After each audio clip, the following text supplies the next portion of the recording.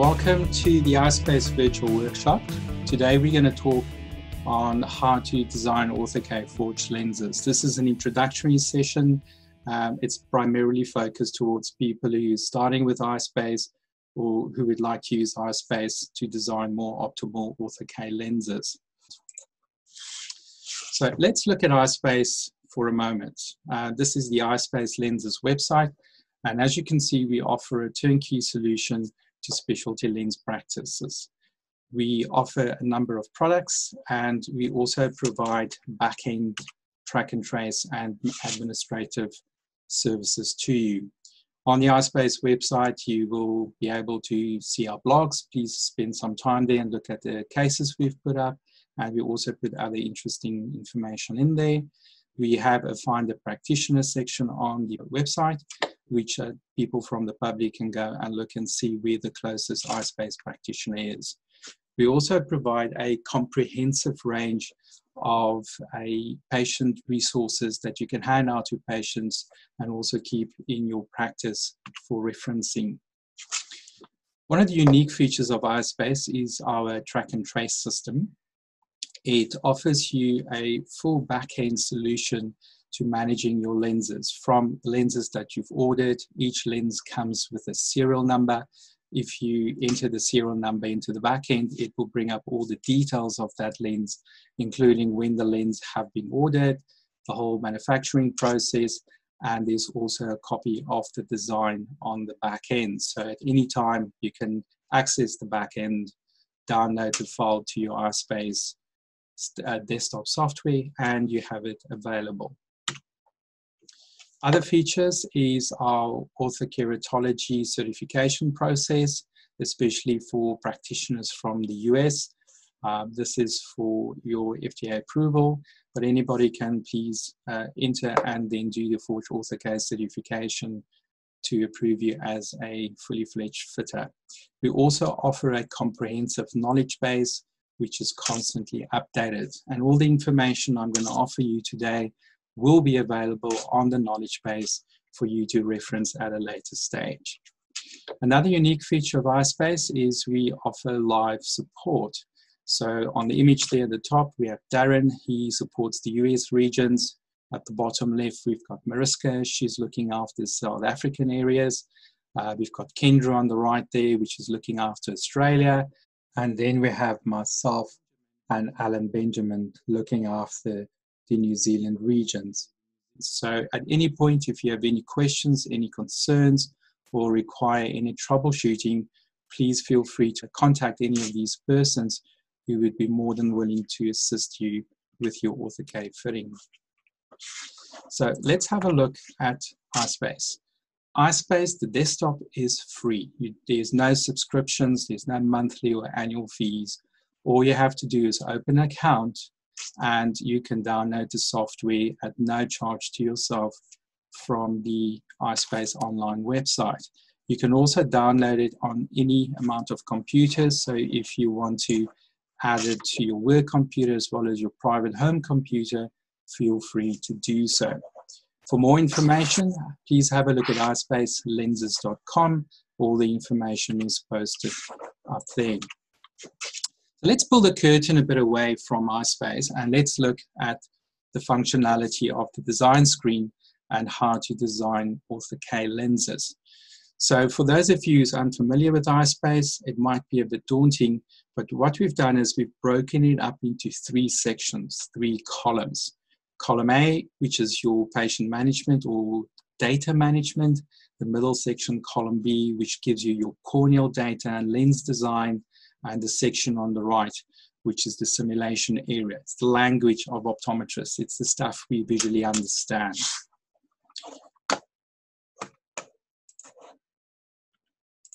So let's have a look at that first column. So the column on the top will provide all the information regarding the topography maps that you have imported into EyeSpace. In this example, we have the Medmont uh, topography map there at the top section. It also gives you a date stamp of when that map was captured on the Medmont system. Beneath that, we've got the different lens designs that was designed of this topography map, again with a date stamp so that you can see when you design those lenses. By right clicking on any of those lens designs, you can duplicate that design or you can delete the design. And if you right click on the Medmont file or the Oculus file, you can delete the topography map as well. The middle section is where the corneal data is located. So we've got the design of the lens on board. We have the flat and steep K values, the delta K, the delta sag at 9 millimeter, which we'll talk about, and the measured HVD, as well as the spectacle prescription. And underneath that, we have the lens matrices, the design parameters of the lens. In this example, it's a rotationally symmetric lens, and with that, its back optic zone radius values, as well as the advanced parameters, which we'll talk to you about in a minute. Then the last section is the display area. Now, as I said, this is the language that optometrists understand. If your eyes follow to the bottom section, that's the lens simulation of the lens on eye. That simulation is very accurate. And later on, I'll show you how accurate it really is.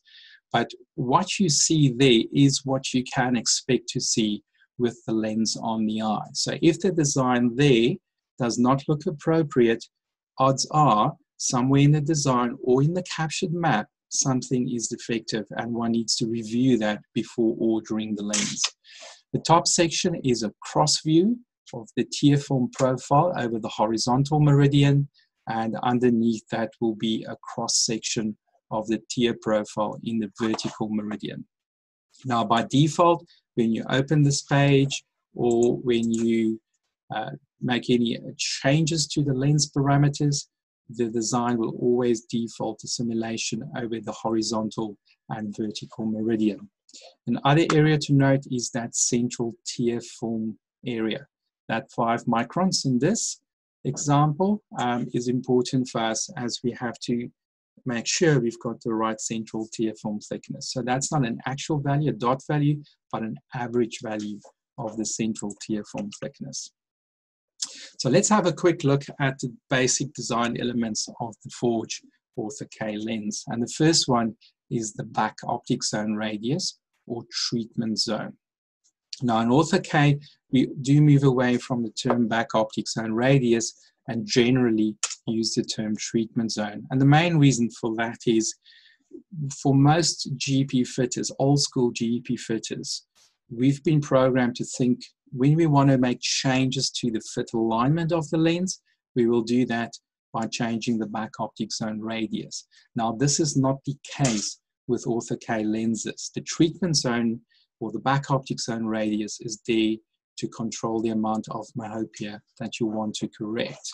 And so we do not want to change the back optic zone radius to change the fit alignment of the lens on the eye. So generally, we will talk about treatments and size just to differentiate the thinking philosophy of changing the back optic zone radius to make changes to the lens fit.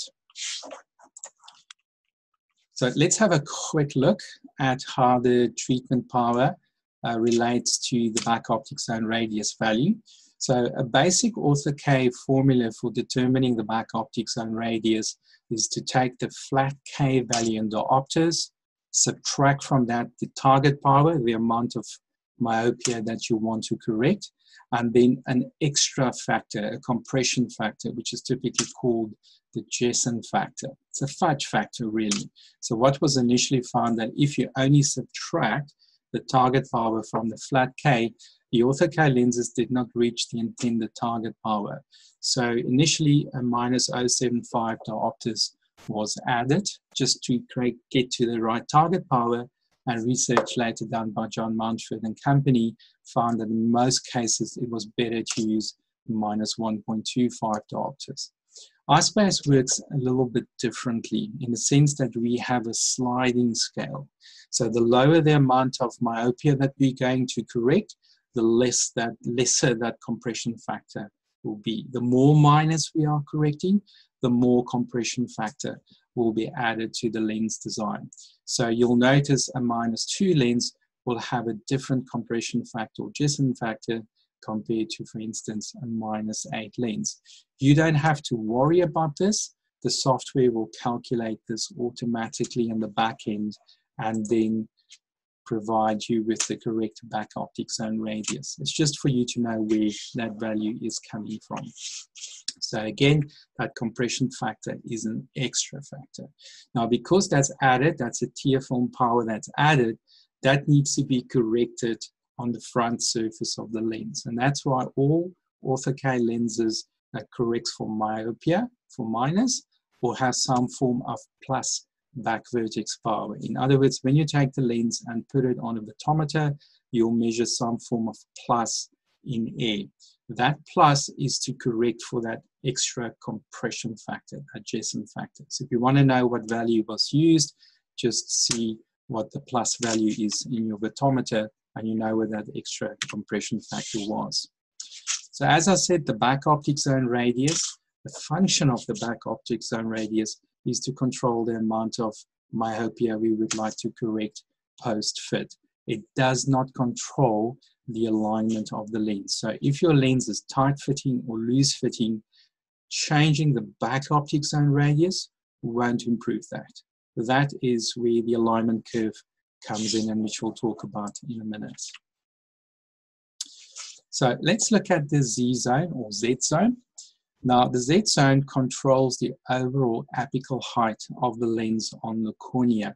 So if we look at this image, if you look at the back optic zone radius, where it stops, that's where the reverse curve starts, comes down, and that's where the alignment curve starts. So if you can use your imagination, that looks like a Z or a Z.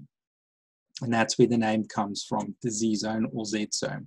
So it's commonly called the reverse curve, sigmoidal curve, return curve. It's got many names, but essentially it does the same thing. It controls the overall height of the lens on the eye.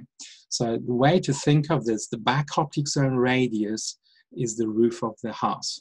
The Z zone is the wall of the house and the alignment curve is the foundation of the house. So if I want to increase the height of the roof, I want to increase the length of my wall. I want to add more bricks into that wall for the roof to be higher. If I want to decrease the height of my roof, if I want to bring the back optic zone radius closer to the cornea, I will then remove some of the bricks. I will make that Z zone a bit smaller, make my wall a bit less in length, and the roof will lower down. So the Z zone controls the overall height of the lens, the sagittal height of the lens on the cornea, and therefore it will control the central tear film thickness. So if you want to increase the central tear film thickness, you want to increase the Z zone. You want to add more bricks into that wall to raise the roof. If you want to decrease the central tear film thickness, you're going to take bricks out of that Z zone. You're going to reduce the Z zone value so the central back optic zone radius comes closer to the cornea. So as a guide, as a rule of thumb, when you deal with myopia cases below minus five diopters, the central tear film thickness should be somewhere between 10 and 20 microns. If we're dealing with higher minus cases, your central tear film thickness will be a bit more. You're going to move it more towards the 20, 30 microns level. The reasoning behind that is as we mold the tissue, and we'll talk about this, the overall sag of the lens on the cornea will drop over time. So we need a bit of reserve space in the center. So as the lens comes closer to the cornea, as the reshape progresses, we're still allowing enough space so the back optic zone radius does not touch the cornea and cause central staining. So there is a range where we are safe and there will be a range where it's going to be too close to the cornea and a range where we are too far away from the cornea. By default, the suggestion is whatever EyeSpace calculates when we optimize it, please stay with that value. And only if you have to troubleshoot. For instance, if you see central staining, you would go back with your second lens and then increase the Z zone, increase the central tear film thickness to allow a bit more reserve space in the center. So if we look at the design elements, um, looking at the parameter, this is the Z zone on the software. That value currently is 265 microns. It's a value that controls the height of the Z zone. In this example, our space in the center there is 22 microns, the central tear film thickness. If I go ahead and I decrease that central tear film thickness, we drop the overall sagittal height of the lens by 20 microns. And in the example here, you can see it now shows a zero central tear film thickness. If I go back just to show you, currently at 265 microns, we've got 22 microns of central clearance. If I drop it by 20 microns, I now also decrease the central tear film thickness. We'll talk about those blue patches in a minute, but know that the blue that you see in that simulation on the bottom right is neither good nor bad. It just shows you where the area of most bearing, of most weight is under the lens. So the lens bearing should always be underneath the alignment curve over the horizontal meridian. In this case, we have it. We've got the blue on the alignment curve on both sides, but we also have blue in the center. That's what we don't want. We don't want any central lens bearing on the cornea. So we need to increase the central tear film thickness. The opposite is also true. If I increase my Z zone to 285 microns, you'll notice that the central part have now increased to 40 microns. Now, if you just look at the simulation and don't even worry about the numbers, instinctively from that simulation, you can see something is wrong. You can see we do not have enough central compression. We don't have that slightly darker area in the center, which we typically want to see with a bullseye pattern. So without having to know all the numbers, we can instinctively see from the simulation if our design is on point or if we need to make any design changes. And that's the beauty of the simulation. It's the language we understand. It's the language of optometry. So the final area we're going to pay quick attention to is the alignment curve. Now, the alignment curve is that outer section of the lens that controls the lens positioning on the cornea. But it also has another function. It helps with the molding process. So if you imagine the center part, the back optic zone radius applying downwards pressure, that tissue is moved into the reverse curve. But we also want pressure coming from the outer periphery, and we want that corneal tissue to be pushed from the outside inwards into that reverse curve. So we've got these dual forces coming from the center and from the outer periphery, pushing that epithelial tissue higher up into the reverse curve. And that's the secret of high minus correction, is you need a proper seal in the periphery as well. And so that's the function of the alignment curve. It helps with centration, but it also helps with peripheral to central molding, which is essential for high minus fitting. And I'll show you later on how we control those elements. In the design software, it will be represented by this value here, the alignment curve. In this example, the horizontal flat meridian is at 6 point, is 6.5 and the steep meridian will be underneath it. So I'd like you to look at the simulation here. That's in the horizontal meridian, there's two line engravings. Now these line engravings will be physically engraved on your Forge Ortho K lens as well when you place a toric order. Now those flat uh, meridian lines, those engraving lines will show you where the flat meridian is of the contact lens. They won't necessarily lie at 0 or 180 degrees or 90 or 270 like you can expect with soft toric lenses. They will rotate wherever the cornea dictates the lens will settle, which is where the flat meridian of the cornea is going to be. So they show you the orientation of the flat meridian relative to the cornea. And wherever you see those engraving lines, that line, that zone corresponds to the flat meridian and the opposite 90 degree where you see the serial numbers will be where the steep meridian is. And this is important to remember when we're dealing with, for instance, against a rule fit, where the flat meridian will sit in the 90 to 270 degree meridian.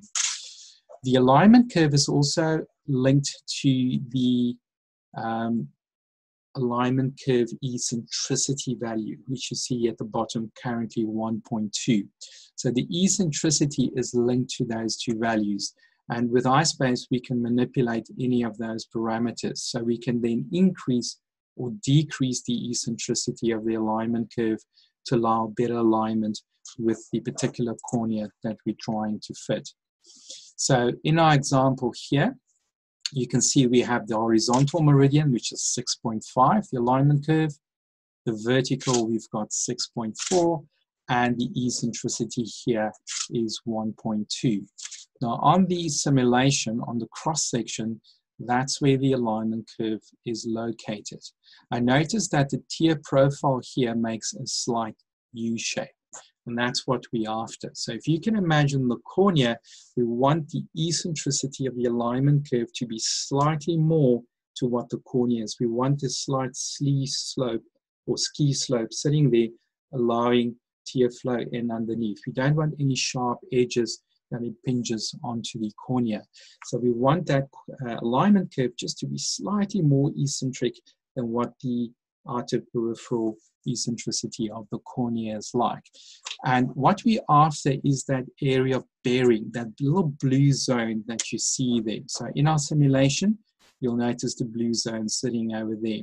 We want a nice, even wide blue patch sitting over the alignment curve. Again, the blue is neither good nor bad, but we want a solid, well-aligned alignment curve sitting on that area. We want a nice bearing on that area. And that helps us with molding, especially those high minus powers. So what happens if we increase the eccentricity? So in this example, the eccentricity was increased to 1.5, and you'll notice that that U shape is now exaggerated. So there's much more of an aggressive U shape sitting there. But what you will also notice is that the blue contact area, the bearing area, is now smaller. So our area of maximum contact of maximum bearing have reduced. So this has an implication in two ways. One, with those higher E values, they do center the lens better on uneven corneas. But because our area of bearing is becoming less, we've got less peripheral forces pushing the tissue into reverse curve. And if the eccentricity there is too high, we run the risk of getting under correction in the center of the lens, leading to uh, under target powers or even slight central islands. So again, we don't want to go too high in the eccentricity. The same is then true by lowering the eccentricity. In this example, we went to 0.9 and you can see we've lost that U shape. It's now more a straight line.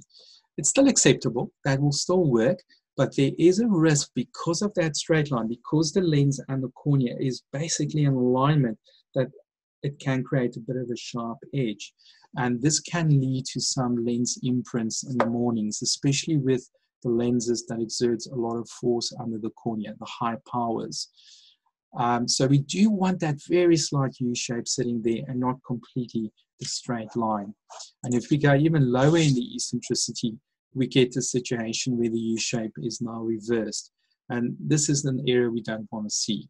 First of all, we're creating a pinch point. That's most likely going to cause some form of staining. And secondly, our contact point, our bearing area is quite small and narrow. And again, we're going to lose that outer peripheral to central forces on the cornea. And that's not ideal. It's going to again lead to either undercorrection and or some form of imprint or even staining sitting on that cornea. Now, the beauty of EyeSpace with the latest upgrade is the software now analyzes the corneal eccentricity over the horizontal meridian and then designs the alignment curve eccentricity as a flatter factor. So there's also variability in the alignment curve eccentricity. So if you're fitting a lower E cornea, the software will adjust the alignment curve of your forge lens to follow that lower eccentricity. And if you are fitting a very high eccentric cornea, the software will adjust the eccentricity to be more so. So when one eye, an eccentricity of 1.2 is optimal, in another eye 1.5 can be optimal, and in another eye the 1 can be optimal. So again, what you're looking for on the simulation is that very slight U shape sitting there and on the horizontal, that U shape can also be a bit toe bearing. In other words, the outer part can be a bit lower than the inner part. So if I use this example here, you can see that area is a bit lower compared to there. And that's what we call the toe fit. So the alignment curve over the horizontal meridian, we want it to be slightly toe fitting, in other words, out, and it helps to stabilize the lens on the cornea, and it also helps to push tissue inwards and up into the reverse curve. Now, the next area we're going to quickly talk about is the tilt function. The tilt function you will find um, here, it says simulation, and next to it there's a tab that says tilt and position. Now, tilting is something that's unique to virtual fitting. In other words, we don't see this uh, naturally. This is something that comes from virtual fitting. Now, the way to think of this is when we capture corneal maps, it's important to capture the map over its geometric center. In other words, if you look at your Placido disc rings, when you capture maps, those rings should be equidistant to the limbus. The outer border should be equidistant over the horizontal and in the vertical. If we get a scenario where we capture the cornea slightly off axis, research have shown that corneal topographers, because they're reflecting those Placido rings and then capturing the image, because they're coming in skew, those rings the on the outer side has a different size to the inner. So it creates a erroneous data point. And so when the software tries to analyze the data, you can get erroneous data. So it's very important to get the geometric center of the cornea captured with your map. And we'll do another seminar where we'll show you the same eye using a decentered map versus a geometric centered map and how radically that changes the design of the lens and therefore the outcome of the lens. For now, just know that if we do capture the lens slightly off center or certain corneas are tilted, when the software analyzes that cornea, so imagine uh, if you think of Marvel movies, you're looking at Tony Stark, he's grabbed your cornea, he's thrown it into one of those very fancy three dimensional devices of his, and we have this cornea spinning in space. So we have this virtual cornea sitting in a computer space. Now the software grabs that information, designs the lens, and then places the lens on top of it. But if we capture a map that's slightly decentered, it's going to create a scenario where there's a bit of a misalignment between the two. And so when the lens is simulated on the eye, the one area is going to be closer to the cornea than the other. Now, this is not true. This is not what's going to happen when you place a lens on the eye with all the forces from the lids. That lens will drop down and settle. But as it drops down, as it comes down, the central tear film thickness will go a bit closer. And this changes the overall fit relationship of your lens on the eye. So we always want to make sure that when we're dealing with the simulation, that we've made sure that there's no tilt involved, that we tell the software where the exact point is. So again, the way to think of this, you're a jumbo jet airline pilot. It's basically fly by wire. You press a couple of buttons and the, the aircraft goes into the air. But the pilot is still needed to make small adjustments and take over when things are not going as planned. That's very much the same idea with EyeSpace.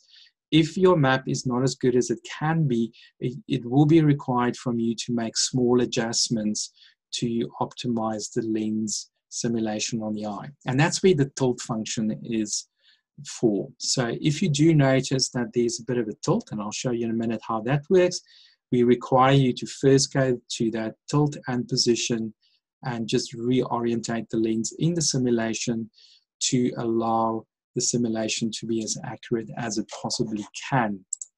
Now again, um, it does not change the design of the lens. It just makes it different to the way the simulation occurs on the eye. I know there's a couple of questions on the chat. Um, I will come to that at the end and we can go through some of those questions. So if we look at the tilt, there's the simulation. So you can see the cornea and then the lens simulated on top of that cornea. So to the right, you can see the lens is touching, it's bearing, but on the left, the lens is slightly in the air. Now, this is not a natural occurrence, and we have to tell the software to correct that for us. So in the simulation, this is what we're looking at. You can see the blue on the right, your area of bearing, the contact point, but the area on the left, there's no blue over here. So if you look at the cross section, on the right, you can see it's making contact, there's the bearing, but in the left, that alignment curve is in the air, which is not natural. So we have to ask the software to re-simulate the lens, but with the lens tilted so the other side also touches the cornea. And we do this by simply going here and clicking on that one circle. We always click in the opposite direction of where the blue bearing is. So in this case, the bearing is to the right, so we will click on the 180. And that tells the software just to drop to tilt the lens in that direction only and allowing for a better fit.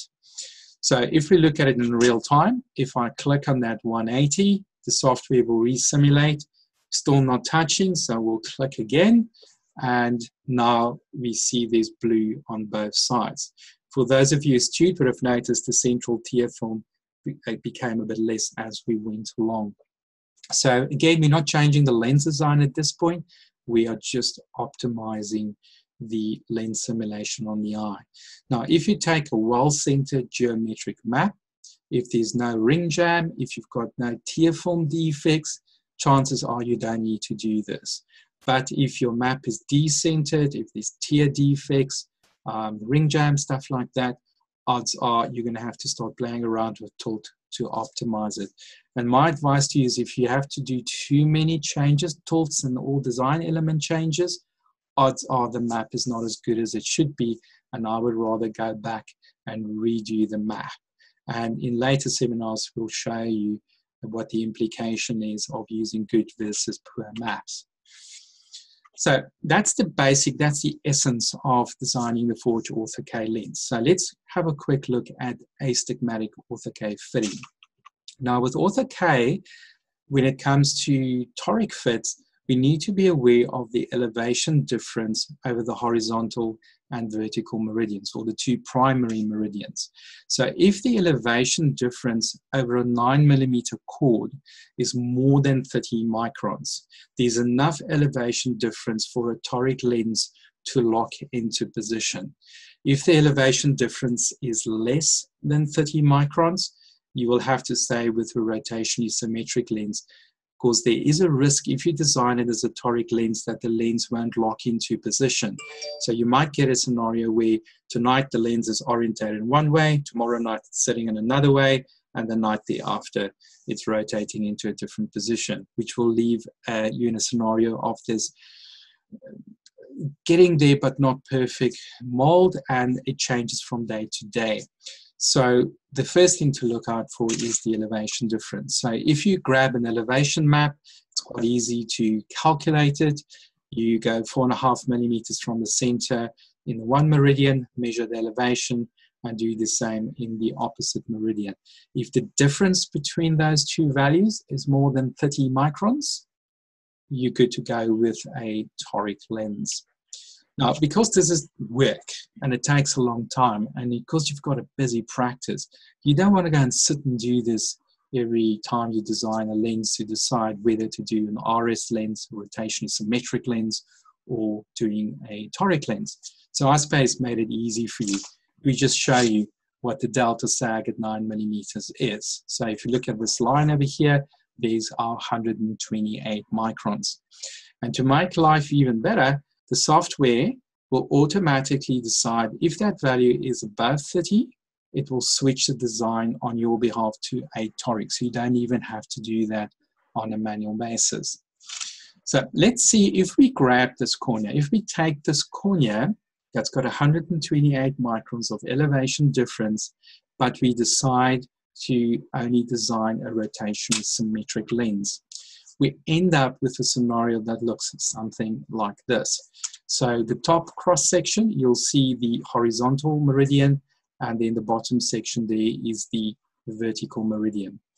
Now, in the horizontal meridian, we've got a good ortho-K design going. It looks like we would expect a normal ortho-K lens to look like. We've got good alignment uh, of the alignment curve. We've got that central tear film clearance of 18 microns, and we're going to get decent seal happening on the outer periphery, meaning we can get that tissue to move into reverse curve from the outside as well as from the center. The issue here is what happens in the vertical. So in the vertical meridian, you'll see the alignment curve is not even close to the cornea. It's not in alignment, and there's a certain amount of tear film sitting there. Now, if the tear film value here in the alignment curve where the steep meridian is in the center, if that value is more than 30 microns, both top and bottom, that tells us we need to do a toric design. If it's more than 30 microns, we're not going to get proper seal and we're not going to get a proper reshape to occur in that meridian. So I want to welcome Jagrud as well. Um, Jagrud is my partner in crime here, and he will be answering all your chat questions as we go along. So welcome, Jagrud. Hey, guys. Um, so to get back to the vertical meridian, it's important that we get proper alignment here. If we don't, we're going to get a scenario where we get uh, improper reshaping happening in that vertical meridian.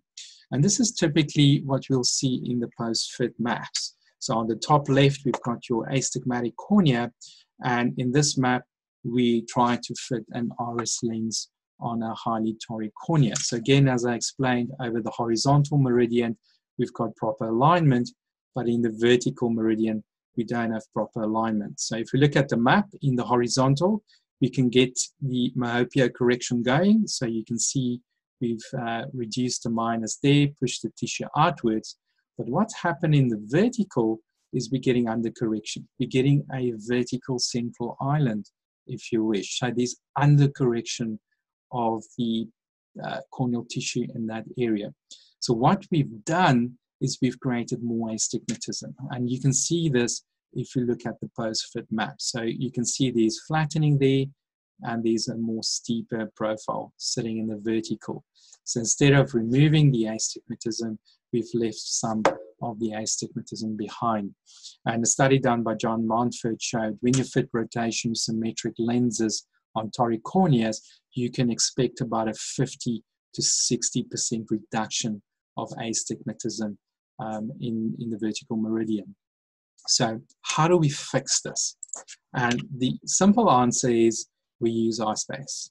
Now, with EyeSpace, we have a unique feature where the software will analyze the horizontal meridian and analyze the vertical meridian separately. And it therefore then designs a separate ortho-K lens for the horizontal meridian and a separate design for the vertical meridian. So what we're doing is we're optimizing the lens design independently for each meridian and then we merge the two lenses together. So in this example, you can see the alignment curve is now much closer to the cornea. It's definitely less than that 30 microns. Typically, it sits at about 5 to 8 microns in most cases. We don't want a complete touch there because we still want most of the weight bearing to occur over the horizontal alignment curve. And again, the reasoning for that is it helps with stabilization, but we do need a bit of tear flow in the vertical to help with that up and down movement. We also want that alignment curve to follow the uh, curve and the eccentricity of the cornea. So in this example, we have designed a quite a unique lens in the sense that it's a bitoric ortho K lens.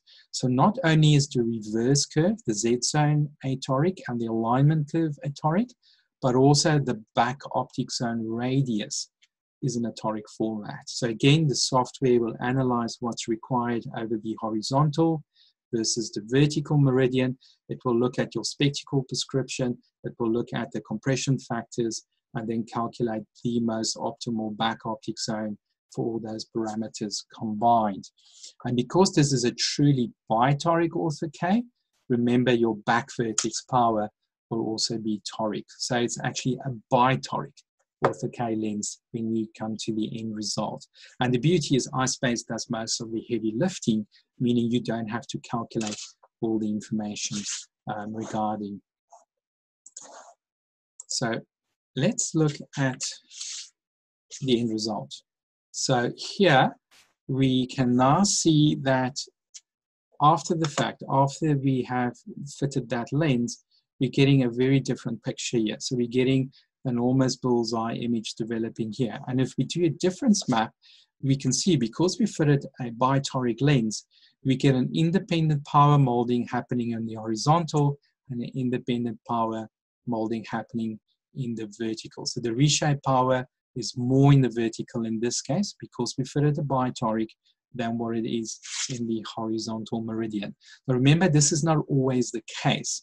Many of your toric fits, the back optic zone radius will be spherical, will be the same in both meridians. It's only if the optics dictate that a back toric is required, the software will calculate it out and it provides you with this more unique bullseye pattern than what we would normally expect.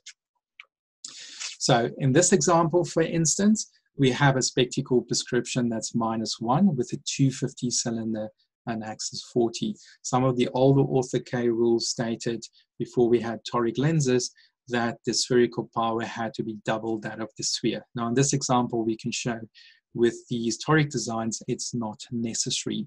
So, and this is also an oblique fit. So if you look at the imagery here, there's the engraving line, there's the engraving line from the simulation, and you can see the similarity between what the software predicts the lens fit will look like and what the lens fit itself will look like.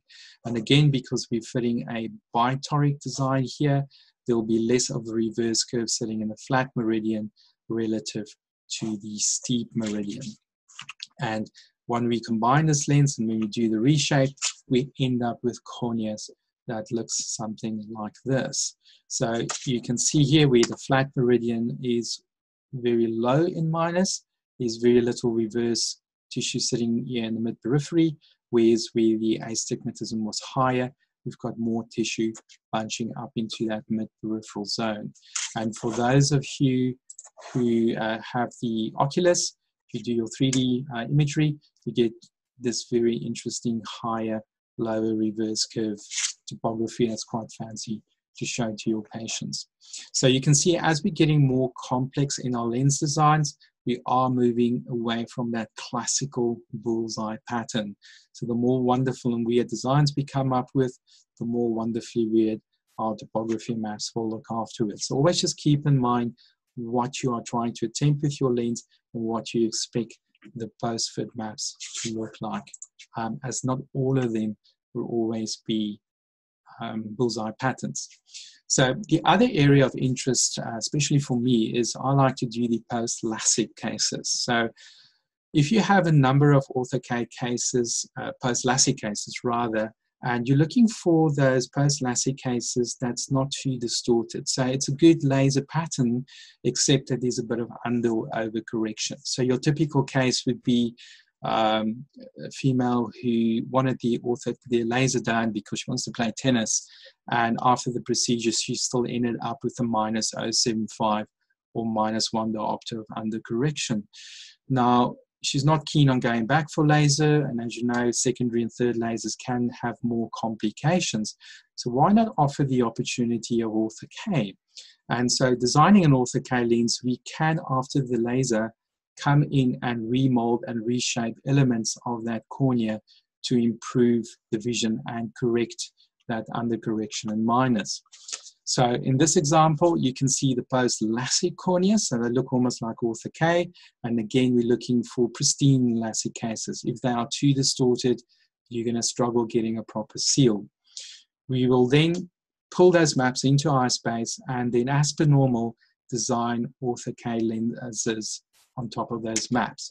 The only difference with most of these maps is you won't find that very clear, well demarcated center treatment zone, which just shows you with a laser that treatment zone can be a bit uneven. And it's one of the reasons some of these people do struggle with nighttime vision. So with Ortho-K, when we design it, we don't necessarily always look at the central tear film thickness. We want to click in a couple of areas and make sure that the closest area in that treatment zone is more than 10 microns. So it might end up that it's 10 microns sitting over here, but 20 or 30 microns in this area. So as long as the closest point has about a 10 micron space and we've designed the lens for the corneal bearing to be over the horizontal alignment curve, you should be good to go. So once we fitted these lenses, the patients will sleep with them like any normal ortho-K lens, and we are then capable of reshaping these post-LASIK cases with the ortho-K lenses. So there's a bit of a niche market for those of you who are interested in this. It does work well. Uh, I've had a number of patients over the last 10, 12 years who's been wearing these lenses with great success. So definitely something to consider. And you don't have to do anything different to what you normally would. You would just normally bring your map into EyeSpace and then design the Ortho-K lens as you would normally do. You might have to optimize certain areas a bit more and then you are good to go. So this is another example just to show you the pre and the post fit. And with, with most of these lectures, we do like to brag. So this was quite a, a nice case. We don't always get it so comfortably uh, in the high minuses. But in this LASIK case, we corrected four and a half diopters of uncorrected myopia. So they're not always as great as this, but it's just showing you that it is possible to do that. And in this example, we did a toric design. So top left, you can see a attempt at toric correction in laser uh, didn't end up quite where they planned it. So the patient had a post-op RX of minus 075075. And so we went in afterwards with the Ortho-K lens and we managed to correct the balance of that um, correction. So one other off-label use for the forged lens is to convert it over to a reverse geometry wear lens. And so one of the areas you can play with this is when you're dealing with RK cases. Now, for those of you know who try and fit RK cases with normal GP spherical lenses, you always end up with a scenario where there's too much central tear film thickness, or if you reduce the central tear film thickness, you have a scenario where your outer edge of the lens, the edge lift off is quite excessive. So one way to fix this is to try and fit a reverse geometry lens that follows the contour of that LASIK, uh, the RK case more closely. Now we know we can't do ortho-K on RK cases because of the scarring, but you can modify the lens as a day wear lens. What you would do in this scenario is import the map into EyeSpace, and again, it needs to be a good map we will then put the prescription in and design an Ortho-K lens. The difference here is instead of using the suggested back optic zone radius, we will change the back optic zone radius back to the flat K value. And from there, we'll just design the lens out. And again, the same principles apply. We want that bearing to sit underneath the alignment curve. And once you've done this, you've ensured you've got a proper edge lift, you can then order that lens and dispense it as a day wear lens. So that's just another off-label suggestion of using the Forge as a template.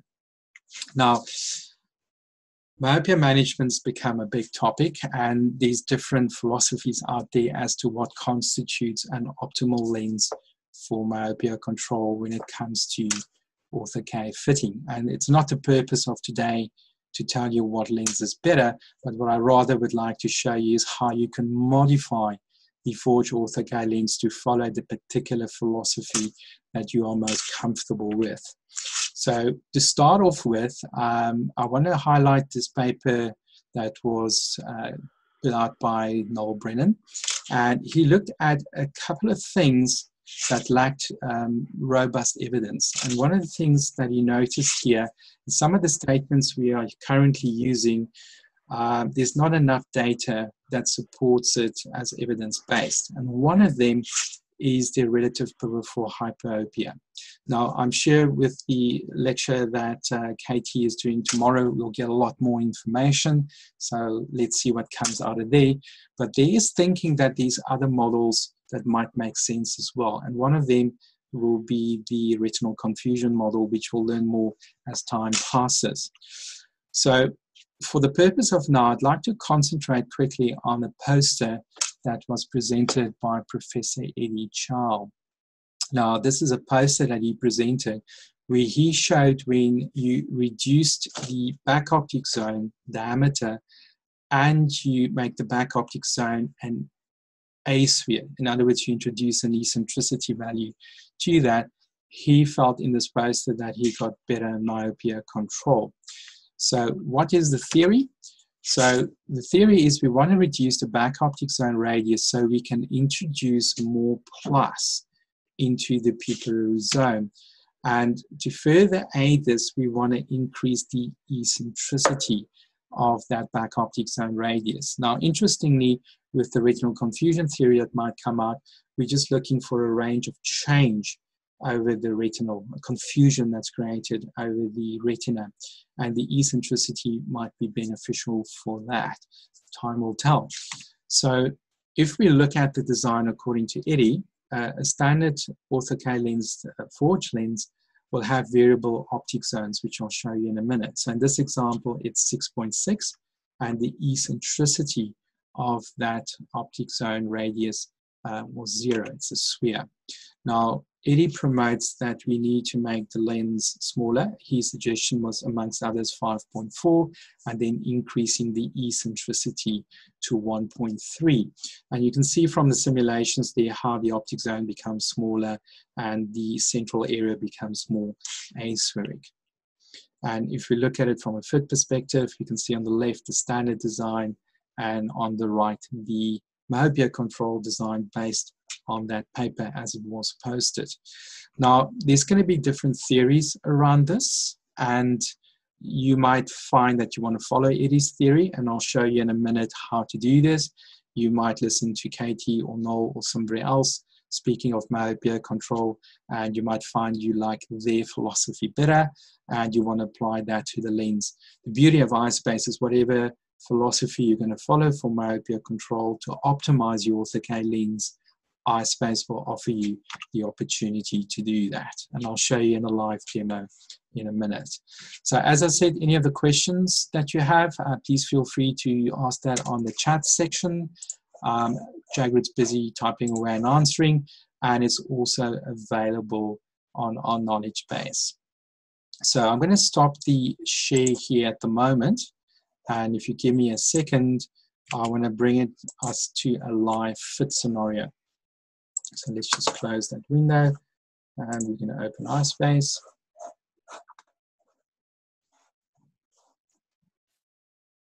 So at the moment, you're welcome to ask any questions. Um, you just unmute and you can fire away. I'm just busy getting the EyeSpace software up and running.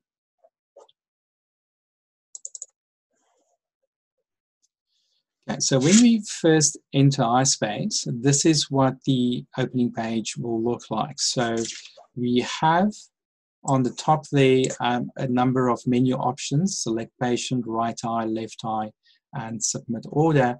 And we then have a list of your patients sitting over here. Now, when you open EyeSpace for the first time, there will be a number of demonstration maps in there or demonstration patients. And this is fixed in with EyeSpace. So any of the knowledge base articles that you will follow, any of the demonstrations that we do, we will typically use this map so you can follow along. As you start importing your own patient uh, database, there will be more patients sitting over there. So let's look at a very standard design to start off with. That's the spherical eye. We will then go to the right eye. So if you want to design a right lens, you will click on the right eye menu option if you want to design a left lens, you will click on the left eye. So in this side, we're going to click on right eye, and there's my Medmont map already imported. So I will click on it, and that is the actual map. Um, if it's the Medmont map, you can look at the Placido disk imagery as well.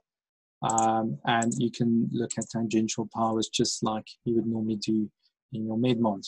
So the next step is I say new lens. So I tell the software I want to use this particular map and I want to design a new lens. Then I tell it what design I want to do. In this case, it's going to be the Forge lens. I click Forge.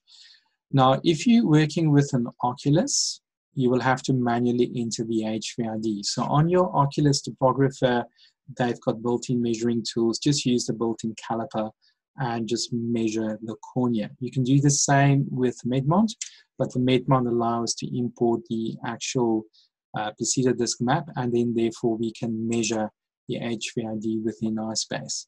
So what we do in this scenario is we want to move on the horizontal meridian, black to black. We want to pull that caliper right through the center of the cornea to the opposite side, black to black. And in this scenario, the map's about 11.35 and I click save.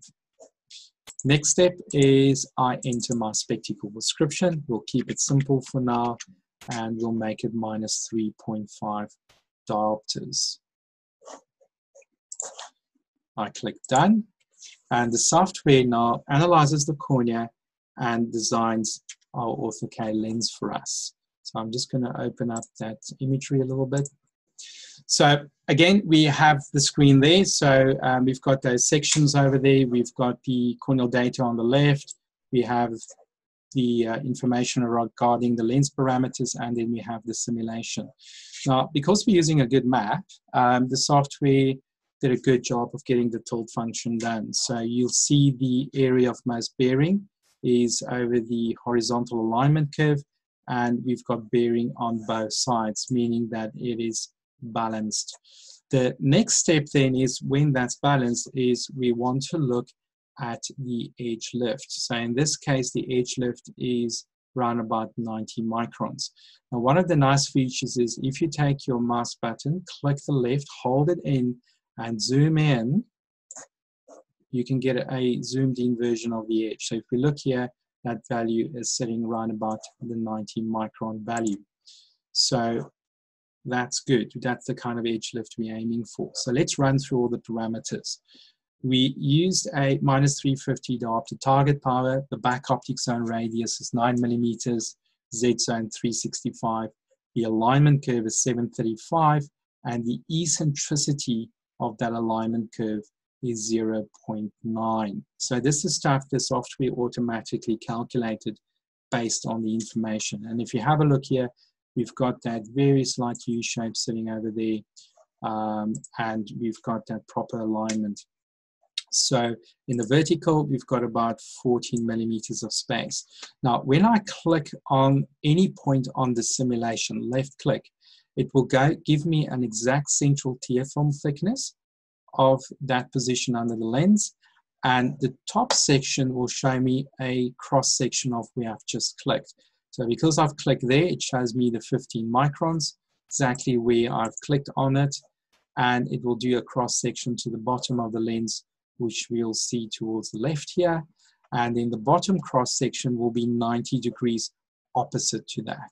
If I click on the oblique, there's my tear profile running across here and then the bottom cross section will be 90 degrees apart from that. So anywhere on the eye, or on the lens rather, I can click and get an exact central tear film thickness value of the eye there. So let's look at diameter quickly.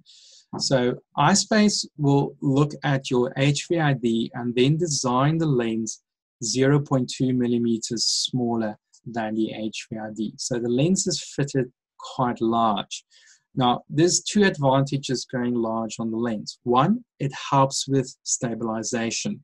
So what we found from all the troubleshoots, monitoring all of them, in all the cases where we find lenses decenter overnight, enlarging the lens, making the diameter bigger, helped to stabilize the lens and gave us better centration.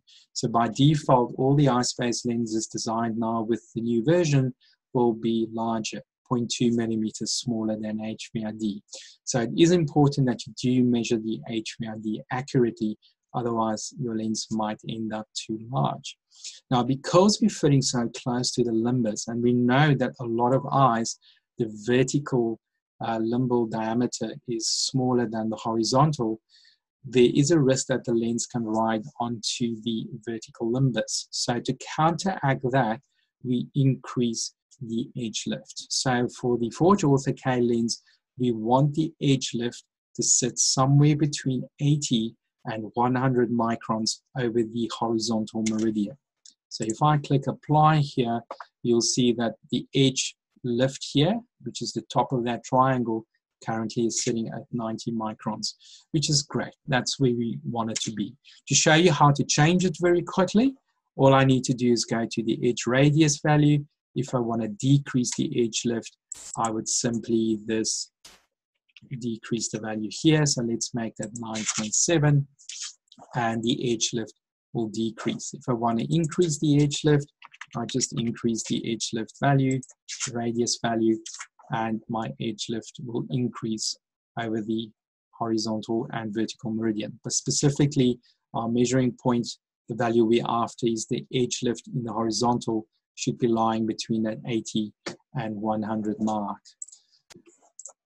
The next thing we can look at very quickly is the back optic zone diameter. So if you open up EyeSpace, it can look like this. If you want to see the advanced parameters, just click on that tick box. It opens the advanced parameters.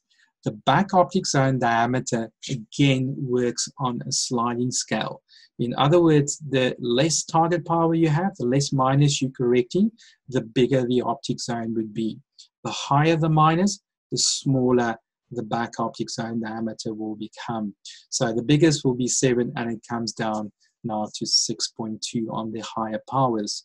Now, importantly, if your back optic zone is 6.4, like it is in this example, please don't make it larger. You're more than welcome to make it smaller, that's fine.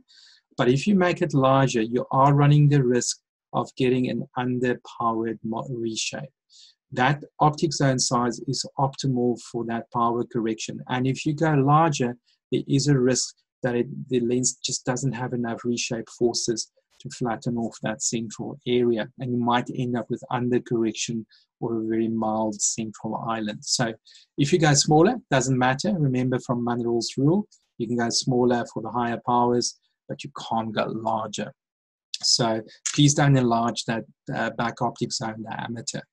So what we find in troubleshooting, what happens on occasion is people fit a lens, the lens is not optimal on the eye. And the moment we don't have optimal reshape forces, the moment the alignment curve's not sealing properly, the lens is not large enough, we don't have the exact central tear film thickness, we get this undercorrection happening in the middle.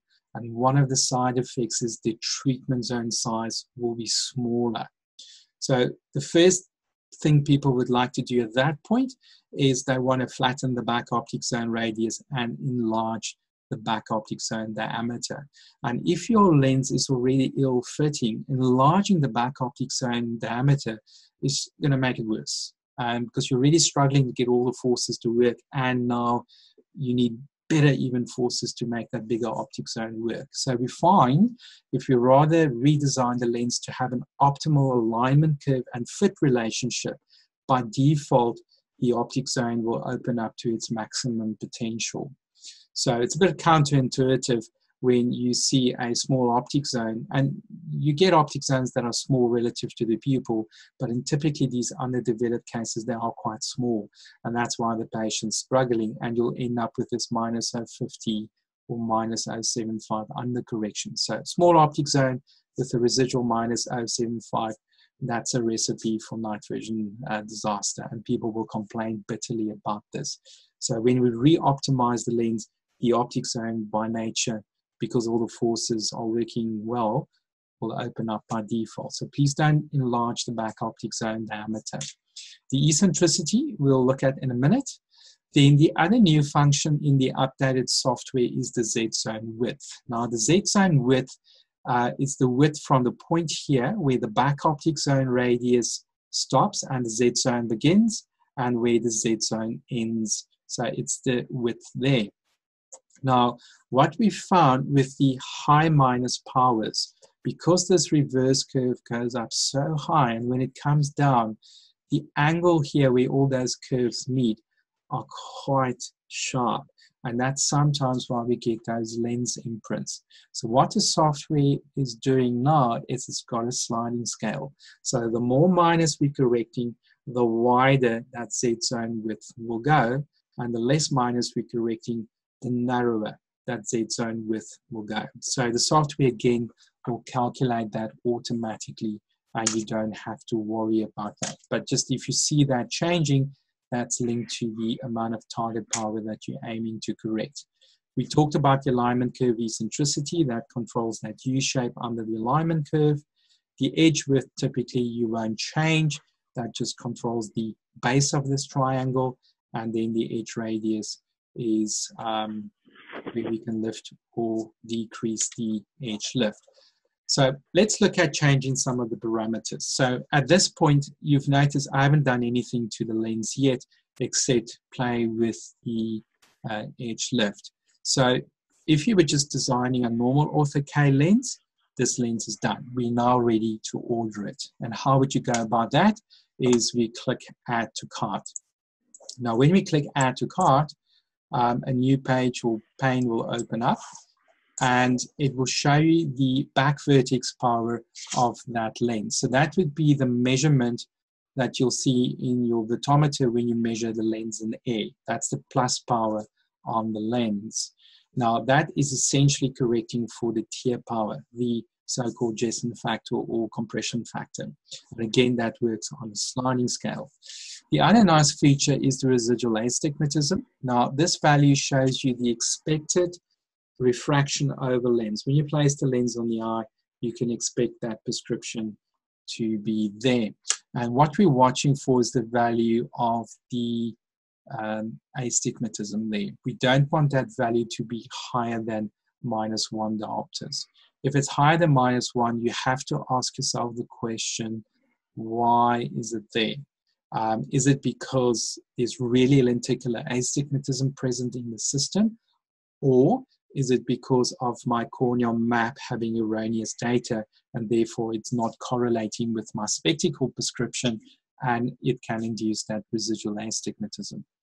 Now, keep in mind by changing the back optic zone radius might artificially make that residual astigmatism look better, but it, but it still won't do its job when the lens does the molding on the eye. So that's a warning sign. That's something that if that astigmatism is high, you should stop at this point and revisit all the information. And particular, what we're after is looking at the flat and, and steep K values and in the axis of the flat axis relative to, for instance, the axis of your spectacle prescription. If they differ by more than 20 microns, the odds are there's some residual astigmatism there. And remember, these values are calculated from your map. So if your map has tear defects, if you've captured the decentered map, that data can be skewed and therefore does not relate properly to your spectacle prescription.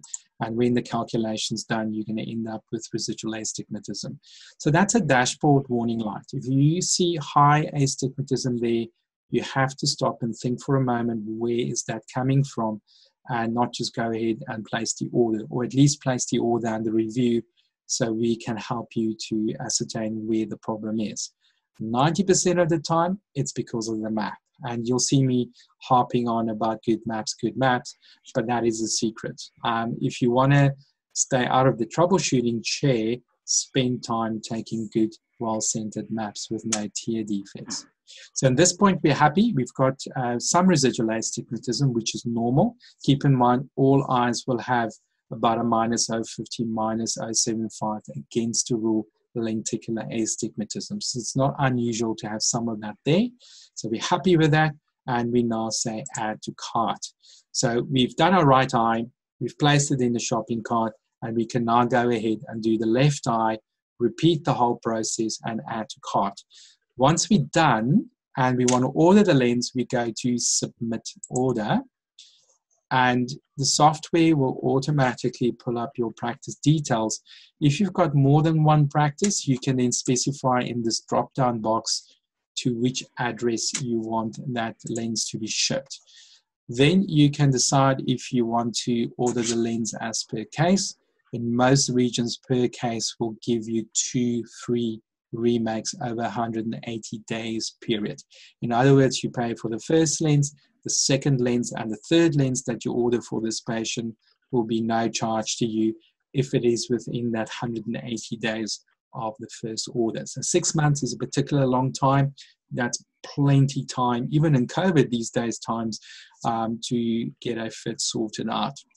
So if you would like it as a per case, and I strongly suggest if you do new fits that you do, you would click next, uh, next or yes. If you wanted this per lens, you would click no. So in this example, I'm going to click yes.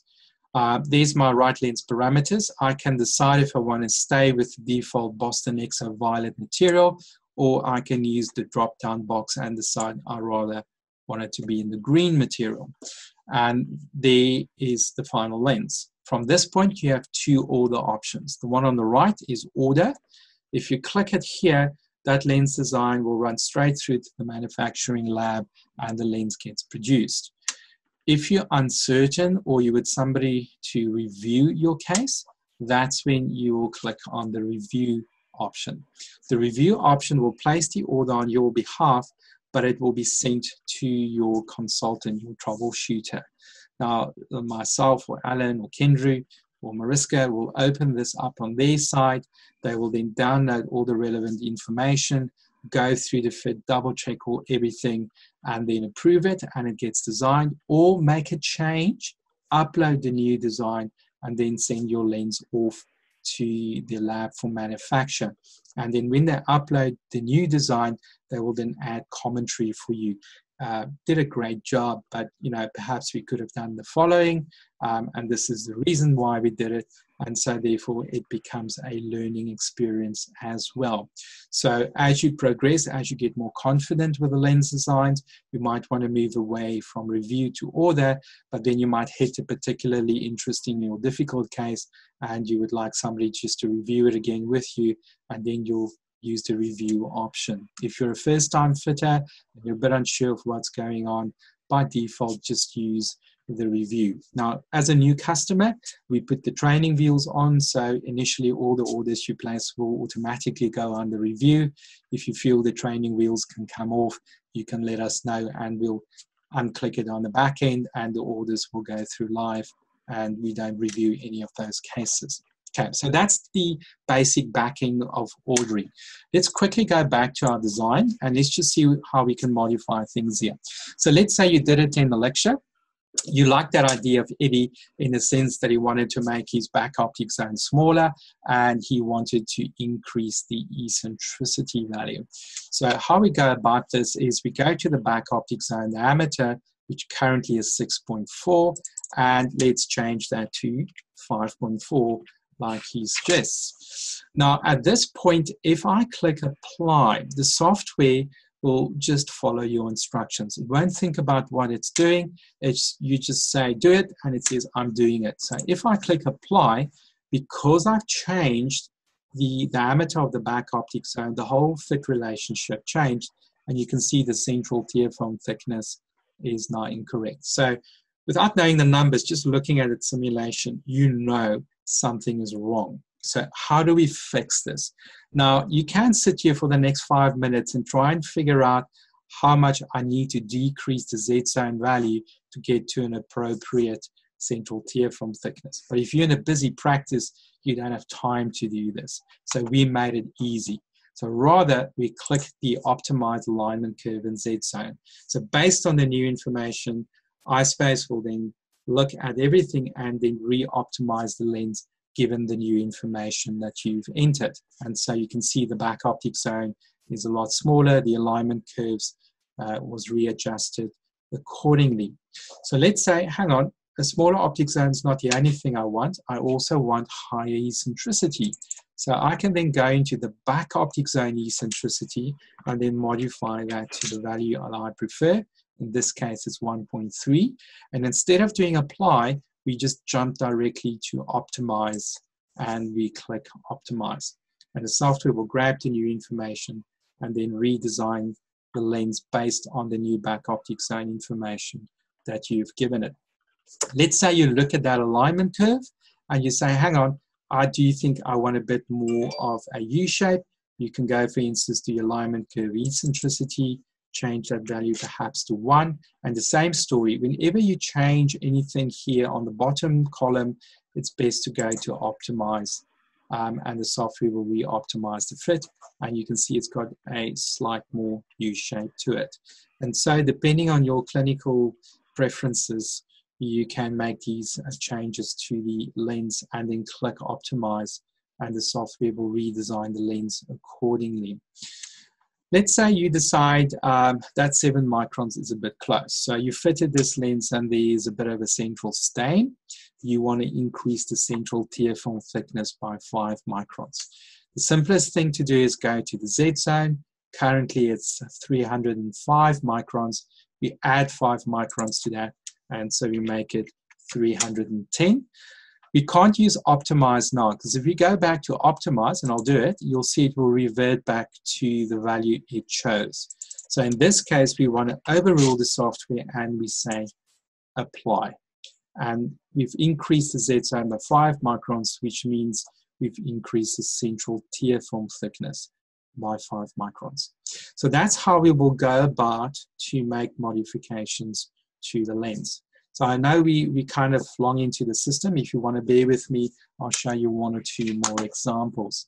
So let's go with something a little bit more complex. We're going to go uh, towards a toric design. So in this example, we have a cornea that's 3.5 diopters of corneal astigmatism. So this is typically one of those cases where you'll start shying away from ortho-K unless you have EyeSpace, because we're going to show you how easy it is to do it. So in this case, we're going to click New Lens again. We're going to say it's a forged lens. I've already measured the HVD on a previous occasion, so I remembered it. Otherwise, you can go in and enter it again. We're going to take a spectacle prescription. Let's make this minus 4, minus 350, and axis 10. And we'll click that. So the software is analyzing the data, it's looking at the shape, and it designs an appropriate ortho-K lens for that cornea. So let's run through it quickly. So we have a 9-4 optic zone here. We've got the Z zone values, the alignment curves. You can see because the delta sag is 128 microns, uh, the software automatically defaulted to a toric design. It wasn't necessary for us to say uh, do a toric design. Software did it automatically. It then went about and it designed a lens on the horizontal meridian. We can see where the line engravings are. They orientate to the flat meridian. And then we have the steep meridian in this area here. So first thing we want to look at is the tilt. Where is my area of most bearing? And you can see we now have this tripod scenario. So the weight is not completely over the horizontal, but we do still have stability in the sense the lens won't really tilt in any direction. And let me show you. So if I click in this direction, theoretically as the lens tilts there, that blue, that bearing's already touching, it will stop it. But let's see if we click more to the left, you can see all the weight distribution, the bearing is now there. So it means the lens definitely won't go in that direction.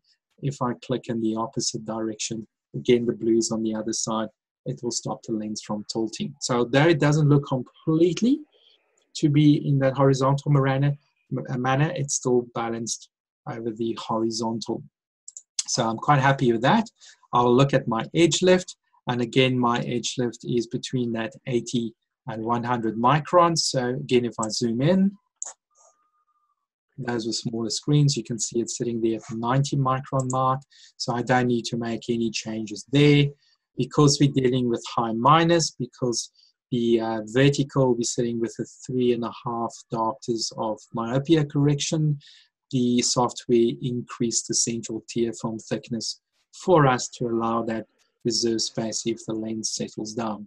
So essentially, um, I don't have to do a thing further. It's checking all my boxes and I can go ahead and order this toric ortho-K lens, which is pretty straightforward. Let's say I want to do myopia control. Um, I've listened to a different lecture and I decide I want to make my optic zone 5.8 and I want a 1.2 eccentricity on my back optic zone. I will click apply. The software will then reanalyze and then re-optimize the lens given those new parameters. Now, what we do see here, there is definitely more weight distribution towards the vertical. So there is possibly a slight risk that the lens can decenter left or right. So this is a great example where we can come in and make some small modifications. So let's look at the horizontal quickly. So if I click here, you'll see the alignment curve is not bearing, it's not on the cornea. If I click in the vertical, the weight is there. In other words, if I can use my house analogy, the current weight of the roof is balanced over the vertical wall system. In other words, that wall is weight bearing where the wall in my horizontal is non-weight bearing. My foundation's in the air.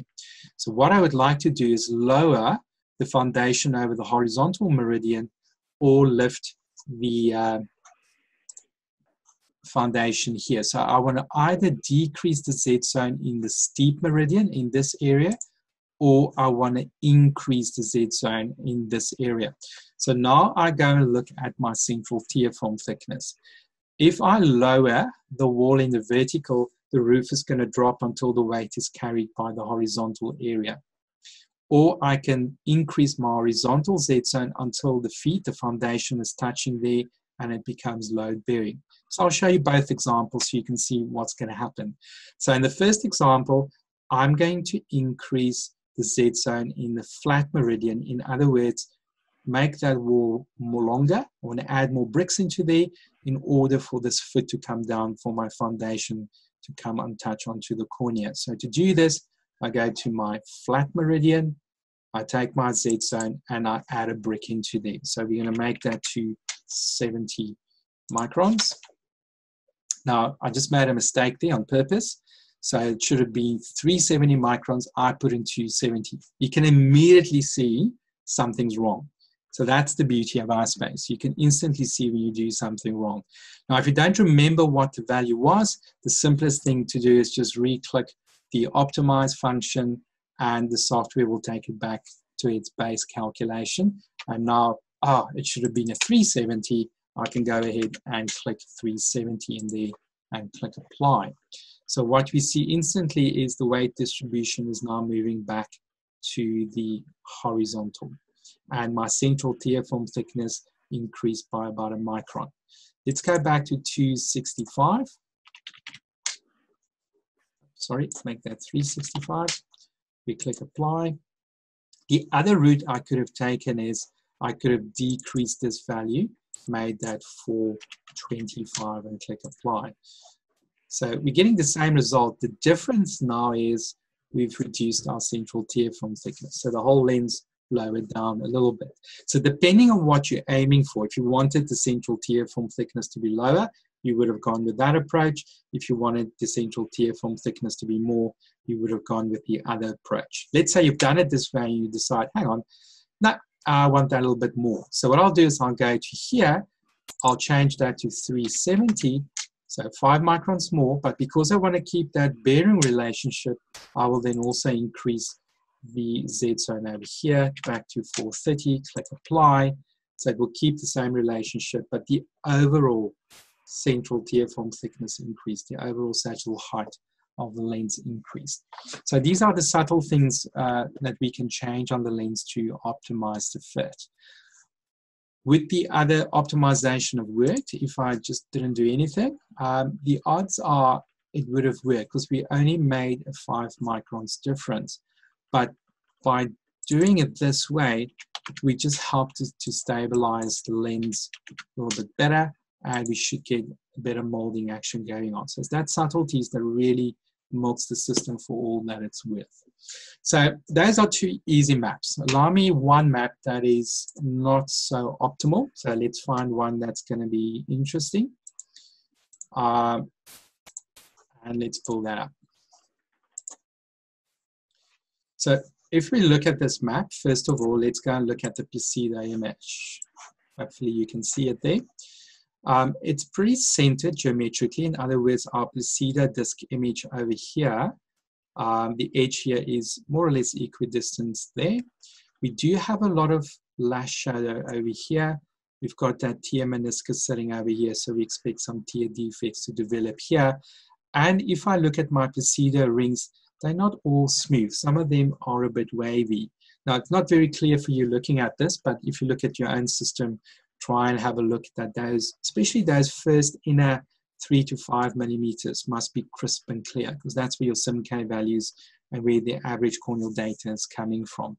If you look at the map itself, if you look at the pattern over here, you can see it's non-symmetrical. So that already is another warning sign.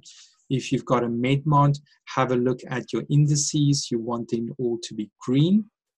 Um, if you use an Oculus, you also have an indices uh, tab over there and look for the aberration value. It should be down to zero. So this is not a bad map. We can still use it, but because there's a bit of tear defects in there, we can expect when we design the lens, we'll have to manipulate one or two things a bit more. Um, so I've done a basic design. Um, let's quickly have a look. I'm going to click new lens, still use the Forge, and uh, let's go with a minus 550 like I used before. So this is a real life map. This is one of the troubleshooting maps that I received. Um, so this is typically the stuff we'll get on a day-and-day -day basis to try and troubleshoot. So I click done. So hopefully you can see the repetitive nature of what we're doing. My first thing I want to do is I want to go to the bottom right of the page and I want to look at my simulation and I'm also noticing my bearing blue patch.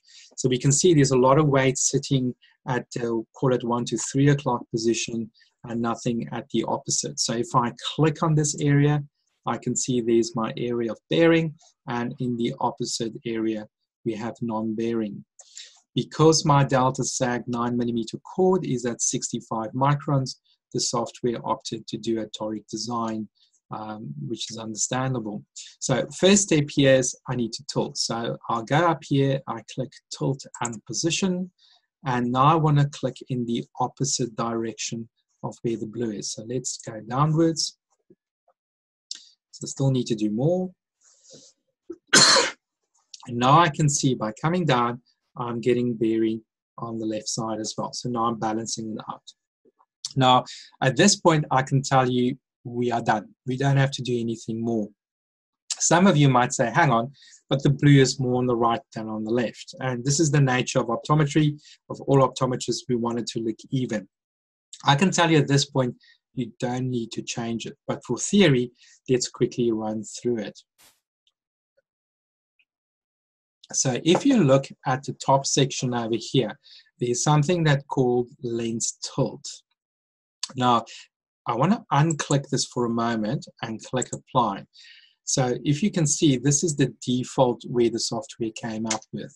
And it shows you the amount of tilt it's already corrected for uh, on this particular fit. So the 0, 180 degree, in this case the horizontal meridian is reflected over here, and then the vertical 9270 is reflected over here.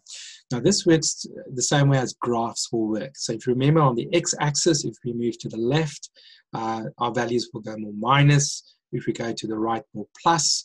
If we go up on the y-axis, the value becomes more plus. If we go down, the value becomes more minus. So if I click in the 270 degree meridian here, we're going to tilt the lens down. Notice what's happening here. So every time I click here, that value will change by 0.05. So it changes in 0.05 steps. I'm going to click once, and that value is going to go more minus because it's y-axis, we're going down. It's subtracted 0.005. I'm going to click again, and it's now 3.25. Note that there's a tick box. The moment you see a tick box over there, it means you superseding the software. You've made a clinical decision and you're writing manually. You've taken the autopilot off and you've made adjustments. Now, let's say I want to click in this direction. So because the blue is more here, it might be there's more bearing over here. I want you to notice the central tear film thickness, which is 13. I'm going to click 180, and now I'm too far to the other side. Notice on the top side here, that value is now changed. It's ticked, meaning we've interfered. It's become 0.61. If I click to the right, that value will increase by 0.05. It will end up as 66. So if I click here, 66. So that 0.05 step is too much to get that balance. So you want to you want to change that by a lesser step. Because we're going left, we want to go minus, but we don't want to change that value by 0.5. Let's just change it by 0.4. So half of that roughly will be that 2. So we're going to make that a 6.4. I click apply. And now we can see the blue is more evenly distributed. Did it make too much of a change in the center? Not really. It's like a micron or two. Was it clinically necessary? Most likely not. But I'm looking at all your faces, and the moment I did that, you all went, it's better. And that's just the nature of optometrists. We want it to look the same. So there's the trick if you really want to take time and get it balanced. Keep in mind it does take time. That's not necessary. Um, so if you're busy, don't worry about it. But there we go. Because we've made those little changes, we just want to ask the software, just check for me if the lens is still optimized. And I'm asking the software just to re-optimize the soft, uh, the design for me. It's a great, I'm happy. I just want to increase your central tear film thickness up to 21 microns because we're dealing with a high minus case. So again, we don't have to worry about that too much. Now, if I look at my edge lift, remember the optimal edge lift is about 100 between 80 and 100. So in this case, it's 110. You might argue, oh, that's not going to make much of a difference, and I would agree with you.